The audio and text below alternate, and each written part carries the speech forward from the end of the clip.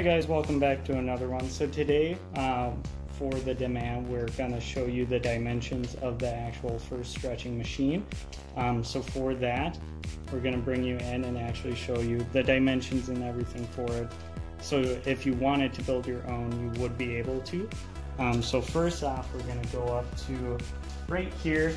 So this is where you're actually to attach the hide to the actual um, post so then it can pull on the gambrel there. So it separates the animal from the hide.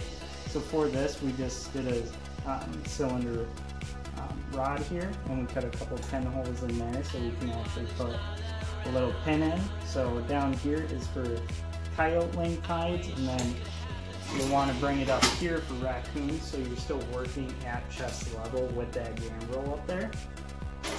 So all the way down, um, so this pipe in general is at 18 inches. So you have that first opening right there between 15 and 17. And then you have this bottom one open from that 3 to 5 range. So for that, and then we're just using regular steel tubing here, nothing special.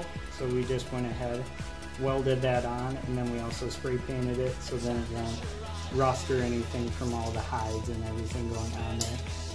This is actually a 9 inch um, welding clamp, um, which will work perfect for this, and they only had one of those. So we went ahead and got this regular clamp, but then we welded on this flat steel on there and we painted it so it won't rust. So that'll work just like this one.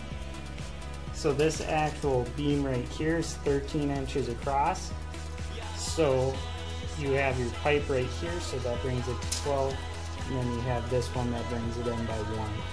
So these are actually only from each other about nine inches there.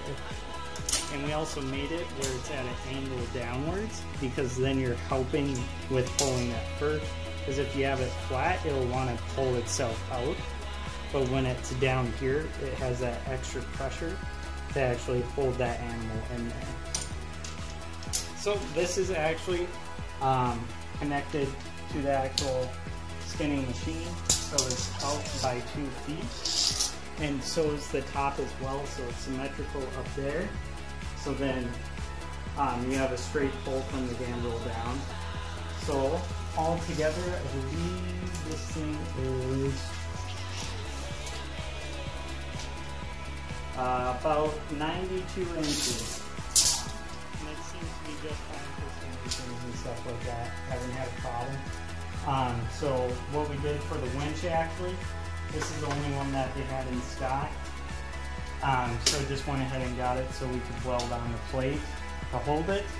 So we went ahead, have it right there so it runs down to this pulley to redirect it to go up here to hit this pulley and to come across over there to come down to the handle. So you could have only used two pulleys here, but then you're really cutting in. So the wire will be going right here. So it's right in the way of your skinning. And if you have to twist the animal or anything like that, this gets in the way.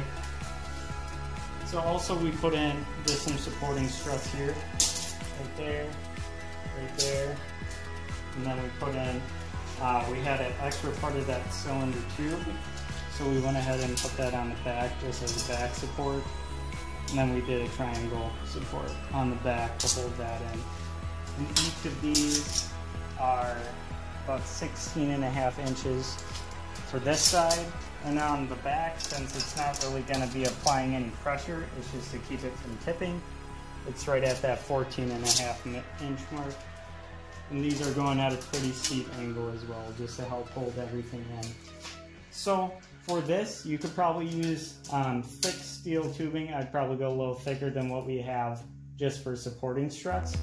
Um, this is just an old basketball hoop that we had, and it works very well as it's nice, thick metal, uh, very wide, so it helps get rid of that load that's going to be on there from pulling coyotes and stuff like that, especially. And it is strong enough to actually hold if you actually put all your weight on there it'll actually be able to hold you as well since we double deck this with one inch tubing So we have the one going fully across, and we have the one running right into the pipe, and then we also have the triangle brace there. And then we have a flat steel that we bent across so it goes around the back and welded that on for just a little bit extra support. And then I have real big bolts going for the pulleys as well. And then for the bottom, since this is going to be the other place where the load's going to be very high, right here and up here is going to be where it's to be going. So we put two one inch steel tubings right on the bottom to help hold that weight. And then we have the one triangle support. So I think that's pretty much all of that that I have. Um, if you guys have any questions or anything, leave them in the comments below and like it, like and subscribe for more.